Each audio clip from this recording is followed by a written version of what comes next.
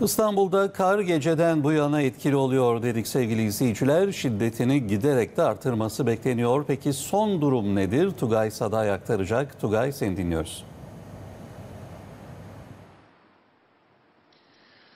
Tunç Arslan abi senin de belirttiğin gibi kar yağışı dün geceden itibaren etkisini artırarak devam ettiriyordu ve hala da devam ediyor. Biz de şu anda Bağcılar'dayız ve Bağcılar'da bir parktayız. İstanbul'da zaten sokağa çıkma kısıtlaması devam ediyor. Bir yandan da kar yağışı sürüyor.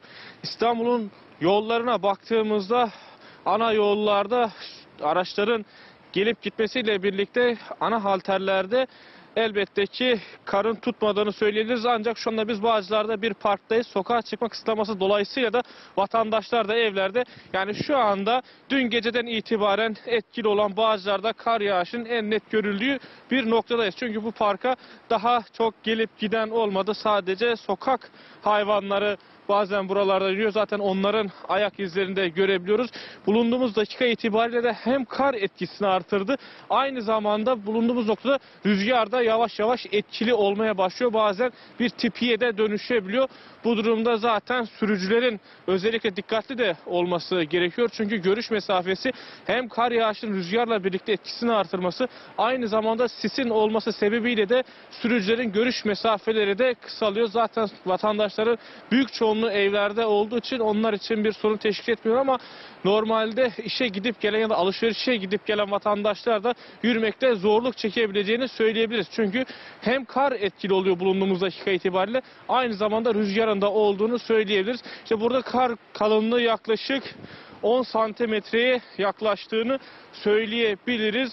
Bulunduğumuz noktada da zaten görünüyor. Her taraf bembeyaz. Dün geceden beri etkili olmuştu. Ve o noktada da bir sokak köpeğini görebiliyoruz. Vatandaşlar evlerinde olduğu için karın tadını çıkartamıyorlar elbette. Ama bu kar yağışında da bazı sokak hayvanları bizim de gösterdiğimiz şekilde karda oyunlar oynuyor. Karın tadını bulunduğumuz dakika itibariyle Bağcılar'da sadece sokak hayvanlarının çıkarabildiğini söyleyebiliriz. Kar gittikçe de şiddetini artırıyor. Elbette İstanbul'un bazı noktalarına daha şiddetli özellikle yüksek noktalarında kar yağışı daha şiddetli şekilde etkili oluyor. Bazı noktalarında ise duraksayarak ve daha az şiddetli kar yağışı devam ediyor. Tabii bu kar yağışının önümüzdeki günlerde de süreceğini Meteoroloji Genel Müdürlüğü'nden yapılan açıklamalarla takip etmiştik diyelim ve buradan sözü Bağcılar'dan size merkeze bırakalım.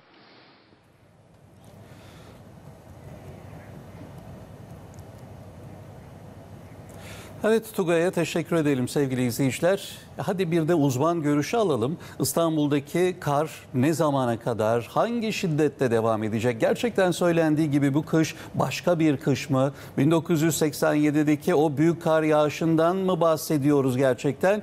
Boğaziçi Üniversitesi Kandilli Rasathanesi Meteoroloji Laboratuvarı Başkanı, Meteoroloji Mühendisi Sayın Adil Tek bizimle birlikte.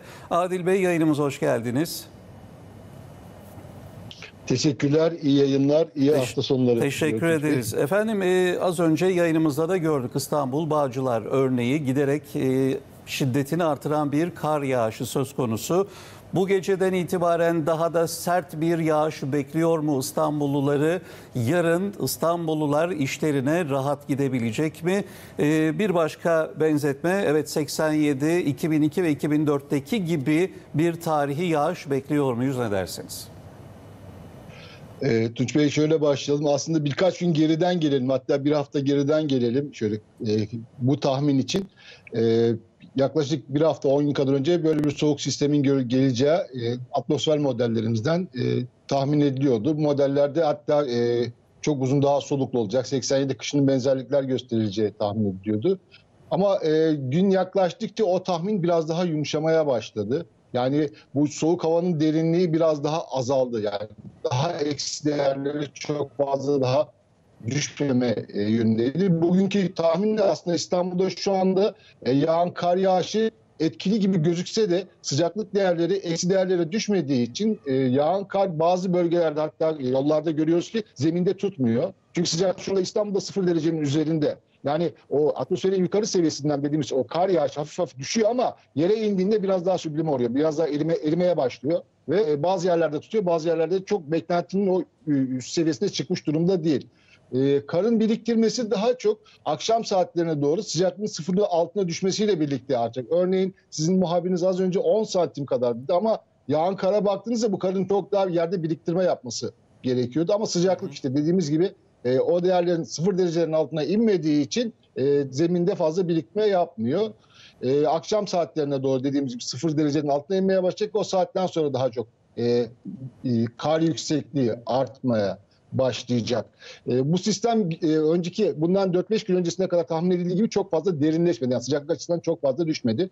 Sıcaklık düşüşlerini gece saatlerinde göreceğiz. Yarın ve e, devam eden günlerde özellikle çarşamba gününe kadar kar yağışı sürecek ama Bu bugün şiddetle çok mi yoğun. olacak? Zemin şöyle söyleyelim bugün çok yoğun ama zeminde tutmuyor. Yarın kar yağışının miktarı azalacak ama zeminde tutmaya başlayacak. Çünkü sıcaklık değerleri eksi 0 ve 6 değerlere inmeye başlayacak. O zaman biriktirme biraz daha fazlalaşacak.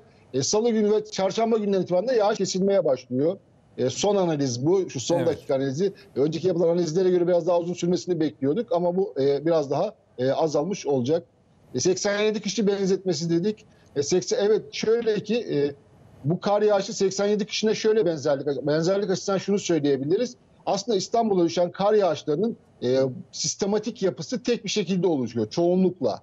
Yani büyük, e, yüksek oranda Orta Avrupa üzerinde çok kuvvetli bir yüksek basınç oluşuyor. Yüksek basıncın doğusunda kalan bölgede e, kuzeyden gelen poler dediğimiz Arktik diye adlandırdığımız o soğuk hava, kutup kökenli hava e, özellikle Marmara işte ve e, Ege üzerine ki kar yağışlarını oluşturan sistem budur bu taraflarda, yurdun batısında. Oradan soğuk havayı indiriyor ve e, Akdeniz'e kadar ulaştırıyor zaman zaman. Evet. Şimdi bugün İstanbul'da kar yağışı olurken aynı sistem Akdeniz'in sıcak suyundan buluştu ve Akdeniz'de özellikle e, Akdeniz'in doğusundaki ülkelerde bizle birlikte, bizim doğumuzla birlikte Akdeniz'in doğusundaki ülkelerde kuvvetli yağışlar yer yer orada da kar yağışları oluşturacak. İstanbul'daki kar yağışının son durumu tablosu yani bizim Hı hı. e, değerlendirmemiz açısından böyle Tunç Bey. Evet. Peki Adil Bey ben şimdi 2002 yılından örnek vermek isterim ve buradan bir yorum rica edeyim sizden. Ee, 2002 yılında İstanbul Esenler Otogarı'ndan İzmir'e e, hareket etmek üzere ben bir yolculuğa çıkma gafletinde bulundum. Tam 26 saatte İstanbul'dan çıkabildik. Öyle bir kardan bahsediyorum. Böyle bir kar yağışından bahsediyor muyuz biz bu önümüzdeki birkaç gün için? Şunu söyleyelim, e, özellikle şehirler arası yollarda geçen hafta mesela geçen kar yağışında, bundan önceki en son kar yağışında Hendek'te e, vatandaşlarımız saatlerce yolda kaldı. Şehirler arası yollarda tabii ki riskler mevcut yani bu kar yağışı için. E, İstanbul'un İstanbul'la kıyasladığımda şunu söyleyebiliriz. İstanbul'da bir kere e, e, normalde zaten kar yağışı artık az düşmeye başladı. Sayıları gittikçe kar, kar yağışı sayıları azalmaya başladı. Etrafımız denizlerle çevrili, deniz suyu sıcaklıkları çok düşmüyor istediğimiz seviyelere. Örneğin bundan önceki yıllarda İstanbul'da e, kar yağışının olduğu zamanlarda deniz suyu sıcaklıklarına baktığımızda 8 dereceye kadar iniyordu. Ama şu anda deniz suyu sıcaklıkları 9-10 derece, 10 dereceler civarında dolaşıyor. Yani denizin o yumuşatıcı etkisi var. Ama İstanbul'dan çıktınız Düzce'ye doğru gelmeye başladınız. İşte dediğimiz gibi Bursa'dan Balıkesir'e gelmeye başladınız. E, oralardaki yükseltinin artmasıyla birlikte evet o riskler şu an için mevcut. Yani bu risklerin Anladım. olmadığını söylemek doğru. Yani böyle bir şeye yakalanabilir vatandaşlarımız. Aman dikkat diyelim. Adil Bey çok teşekkür ediyoruz.